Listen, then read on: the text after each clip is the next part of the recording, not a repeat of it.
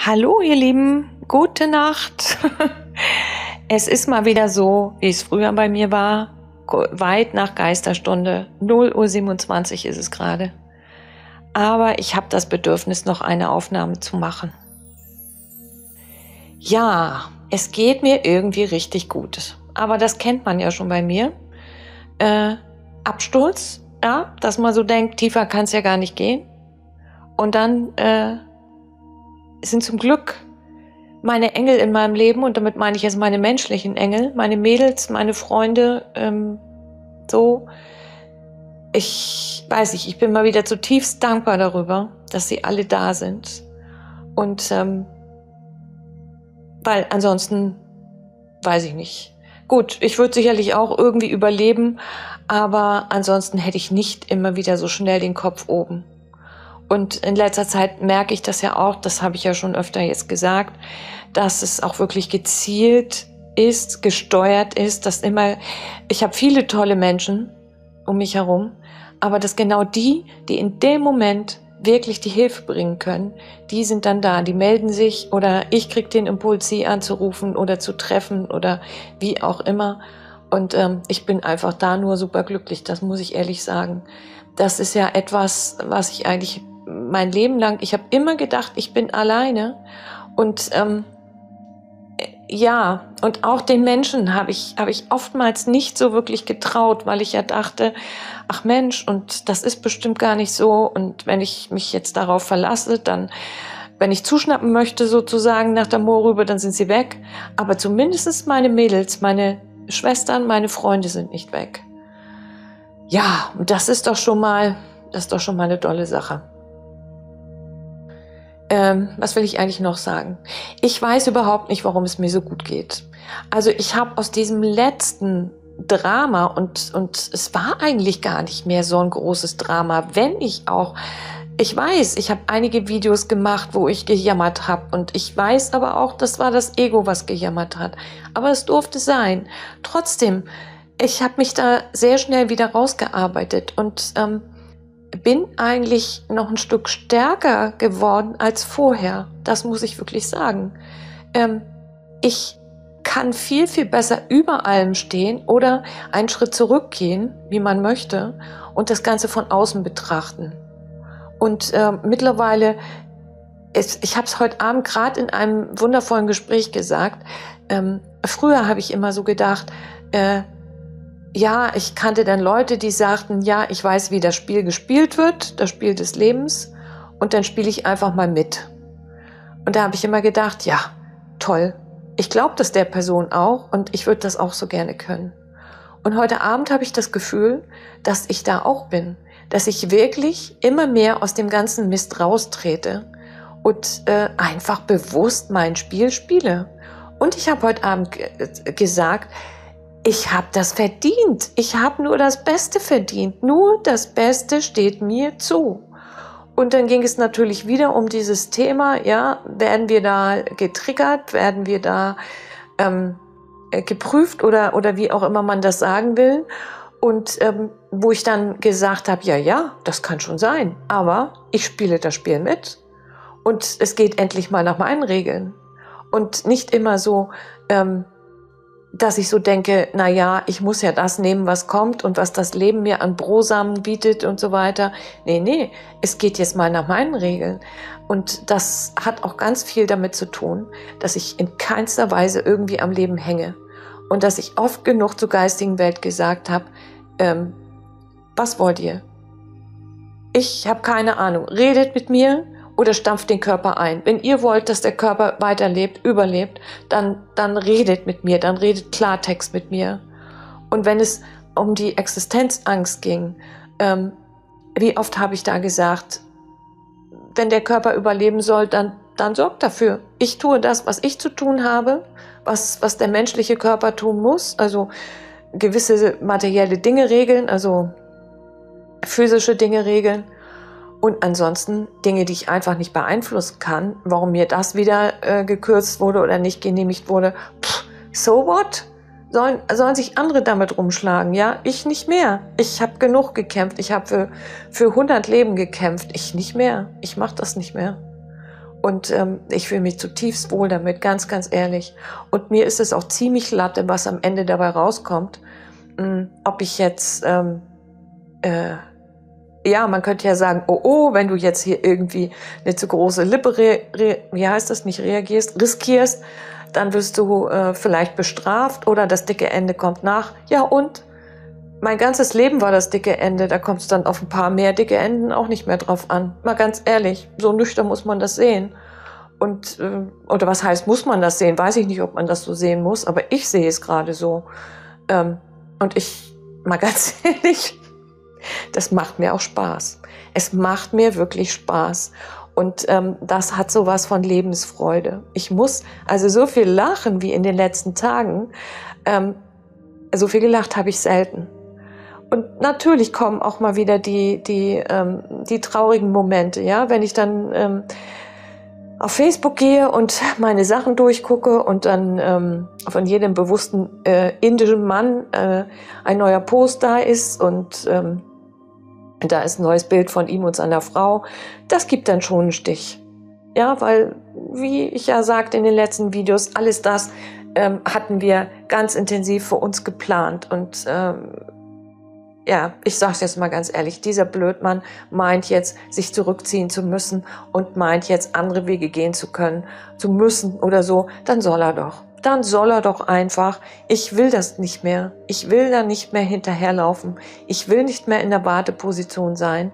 Ich war mein Leben lang in der Warteposition.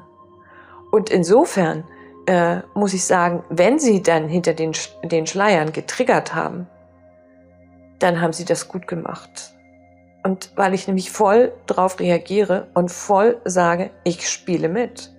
Und heute Abend in dem Gespräch war das auch so, dass wir ähm, noch beschlossen haben oder noch äh, darüber geredet haben. Ja, und was ist, wenn dann dies und jenes? Ja, so. Und dann habe ich gesagt, ja, und dann gucke ich erstmal. Dann gucke ich erstmal. Ich warte ganz gelassen ab und gucke erstmal, ob mir das zusagt, ob mir das gefällt. Und wenn mir das nicht gefällt, dann spiele ich das Spiel nicht mit. Oder ich drehe das um und stelle meine Bedingungen und sage, das und das erwarte ich jetzt. Das ist jetzt angemessen für mich. Und ähm, ich weiß nicht, ich habe ganz oft das Gefühl gehabt, äh, dass das die, wie heißt das jetzt? Die, guck mal, ich weiß das Wort nicht mehr, die Eigenmacht? Nee, die, die, die eigene Kraft, ähm, Selbstannahme, ja, in meine eigene Kraft kommen. Und äh, mir, als ich das jetzt eben sagte, da kam mir das Wort, das habe ich nicht selbst gedacht, die Schöpferkraft. Dass ich daran glaube. Und ich habe es heute in dem, äh, in dem Gespräch mit meiner liebsten Schwester, habe ich das ja auch gesehen. Ich habe gesehen, was für sie da wartet. Und dann habe ich gesagt, okay, wenn ich das für sie sehe, dann gehe ich mal davon aus, dass das Gleiche für mich auch wartet, beziehungsweise das, was ich mir dann wünsche und was zu mir passt. Und dann habe ich noch während dieses Gesprächs beschlossen, ja, und das kommt jetzt zu mir. Und das ist schon da. Und ich habe einen ganz tollen neuen Videokanal entdeckt, weiß ich gar nicht, ob ich das schon gesagt habe. Ähm, ich werde mal ein Video, den Link äh, posten. Vielleicht ist das ja auch was für euch und ihren bitten, das einmal unter dieses Video zu setzen. Die, die kann das so toll erklären. Michelle Mariam. Die kann das so toll erklären, auch wie das Erschaffen funktioniert. Ähm, dass wir alle diese Magie haben, das finde ich so toll. So hat es irgendwie für mich noch keiner gesagt. Wir alle sind in der Lage dazu. Und das, was, ähm, was wir wollen, ähm, das leben wir schon. Und das weiß ich zwar, aber sie hat das nochmal anders gesagt. Sie hat das nochmal speziell gesagt, dass ich das auch glauben kann. Und ich beschließe jetzt mal, dass ich das, ich weiß sehr wohl, was ich mir wünsche. Und ich habe zwar gesagt, keine Wünsche mehr und so weiter. Ja, man sagt viel, äh, wenn der Tag lang ist und wie geht der andere Spruch? Was interessiert mich mein Geschwätz von gestern? Ähm, ich beschließe jetzt mal, dass das, was ich mir wünsche, äh, dass, dass ich das jetzt ins Leben ziehe. Weil die sieben mageren Jahre sind vorbei. Mehr als sieben mal. Sieben mal sieben magere Jahre sind vorbei. Ja, die fetten Jahre sind mehr als überflü äh, überflüssig. Toll. Überfällig meine ich natürlich. Und so will ich jetzt leben. So will ich jetzt leben. Weil wenn wir wirklich göttliche Wesen sind und magische Wesen sind, dann haben wir die Kraft und die, vor allen Dingen die Schöpferkraft, alles zu materialisieren. Und wenn wir uns unser Leben angucken, die meisten von uns, da ist da ziemlich viel Mist dabei gewesen. Das haben wir auch selbst erschaffen. Und der Mist klappt immer hervorragend. Also, dann äh, dessen eingedenk, sagen wir doch jetzt, wenn der Mist so hervorragend geklappt hat, dann wollen wir jetzt mal sehen, ob nicht das Glück und die Freude hervorragend klappt. Ja, jetzt denke ich schon wieder, oh, jetzt kannst du aber wieder powervoll reden und ähm, dann kommt demnächst wieder irgendetwas und dann wusch, bist du wieder ganz unten. Aber that's life. Und ich genieße, dass ich jetzt so bin, wie ich bin, dass ich mich so fühle. Und ich stehe dazu, genauso wie ich dazu stehe, wenn ich im Kreis kotzen könnte. Alles ist menschlich, alles bin ich und alles darf sein. Und ich finde, ich bin nicht die Schlechteste. Ja, auch wenn es ein ewiges Auf und Ab ist und eine ewige Achterbahnfahrt. Äh, nö, ich bin schon ganz schön gut. So, und das gilt für jeden von uns. Jeder von uns äh, tut jederzeit sein Bestes und ähm, darauf dürfen wir alle sehr, sehr stolz sein. Und wir alle haben alles Glück der Welt verdient. Und ich glaube, das kann man sich gar nicht oft genug sagen. Und ähm, was ich im Moment so faszinierend finde, das ist ja wirklich das, ähm, dass ich das Gefühl habe, ich weiß jetzt ein Stück mehr, wie das Spiel funktioniert. Muss ich nochmal sagen. Ähm, ich ich kann es gar nicht mal in Worte fassen. Weil das ist so aus mir heraus. Ich beschließe, das und das soll sein, das und das will ich haben. Ich beschließe, ich fordere es ein sozusagen. Und mich hat früher immer gestört, auf Knien zu rutschen und äh, die geistige Welt zu bitten, das und das und das und dann ähm, furchtbar dankbar zu sein. Ich gebe zu, das ist noch nicht ausgegoren, auch das mit der Dankbarkeit. Ich finde, wir können alle sehr wohl dankbar sein. Für was, weiß ich noch nicht genau. Das muss ich ehrlich sagen. Aber ich habe so das Gefühl, ähm, dass Dankbarkeit eigentlich was sehr, sehr Gutes ist. Und ähm, wenn ich das ein bisschen mehr fühlen würde, äh, das würde mir gut zu Gesicht stehen. Und das wäre auch gerechtfertigt. Und das würde auch dazu führen, dass es noch viel mehr gibt, wofür ich dankbar sein kann. Insofern ist es nicht nur gut und angemessen, sondern auch noch schlau. Naja, da, hinter das Geheimnis der Dankbarkeit, der wirklichen Dankbarkeit werde ich auch noch kommen. Obwohl, ich bin es doch schon. Ich bin es für die Menschen in meinem Leben. Und das kann ich wirklich aus tiefstem Herzen sagen. Die Seelenfamilien, ich hatte ja früher schon diese Menschen, aber jetzt noch viel mehr. Die Seelenfamilien sind zusammen und immer mehr und immer enger und immer direkter und manchmal ist da schon gar keine, keine Trennung mehr dazwischen, also keine Entfernung mehr dazwischen, wenn sie dann nicht aus meinem Ort hier kommen. Und das ist wirklich ganz, ganz schön. Ja, und es gibt noch etwas Neues zu berichten. Seit heute bin ich Mitglied einer politischen Partei. Man stelle sich das vor.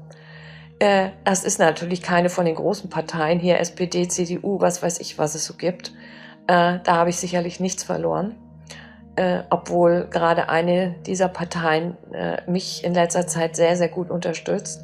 Nein, eine etwas kleineren Partei, die aber voll äh, das vertritt, ähm, woran ich auch glaube und das, was mir wichtig ist. Sie nennt sich die V-Partei. Und ich kenne die schon etwas. Ähm, und ich tue mich auch so ein bisschen schwer, da in solche Gruppen reinzugehen. Ich bin schon ganz lange nicht mehr irgendwo Mitglied gewesen oder so. Aber gerade heute, wir, wir hatten da Treffen und ich hatte irgendwie den Impuls, mach das. Tritt da ein, das ist gut. Das sind Menschen, die Energie hat sehr, sehr gestimmt für mich. Und es sind Menschen, äh, die glauben an ähnliche Dinge wie du und, und äh, treten für ähnliche Dinge ein. Und ähm, ja, das ist irgendwie eine ganz tolle Erfahrung. Und ich bin sehr, sehr neugierig, was da noch passiert. Und ähm, ja, vielleicht werde ich am Ende noch Bundeskanzlerin oder so. Kann ja sein. Oder Bundespräsidentin. ja, das muss ich dann wirklich nicht haben. Ich habe äh, doch etwas andere Pläne. Aber äh, das ist eine, irgendwie eine tolle Erfahrung und ich, ich weiß, es soll so sein. Das ist, das ist richtig, dass ich das gemacht habe. Ja, ihr Lieben, was soll ich noch sagen? Keine Ahnung. Jetzt habe ich erstmal, glaube ich, alles gesagt, was ich so auf dem Herzen hatte. Und ich weiß nicht, wie es euch geht, aber ich möchte noch mal so richtig sagen, wenn ihr auch das Gefühl habt, jetzt bricht alles zusammen und jetzt geht nichts mehr und so weiter. Ähm, vergesst nie, es ist alles ein Spiel und es ist eine Illusion und man kann wirklich lernen, wie das Spiel funktioniert. Man kann, man kann zumindest damit beginnen. Und keiner von uns ist abhängig von irgendetwas. Und dafür war es gut, dass ich mir immer wieder eine blutige Nase geholt habe, wenn ich im Außen gegen die Wand gelaufen bin. Das war wirklich gut. Weil ich kann nicht sagen, wie es jetzt passiert ist, aber das hat mir dabei geholfen, auszusteigen. Auszusteigen aus dem Spiel des Egos. Und ich will nicht sagen, dass ich da komplett raus bin, ganz bestimmt nicht. Aber zumindest schon, schon über lange Strecken auszusteigen und das Ganze einfach nur zu beobachten. Und das ist ein geniales Gefühl. Das kann ich euch wirklich versichern. Ja, ich drücke euch ganz dolle Passt schön auf euch auf und bis bald. Ciao.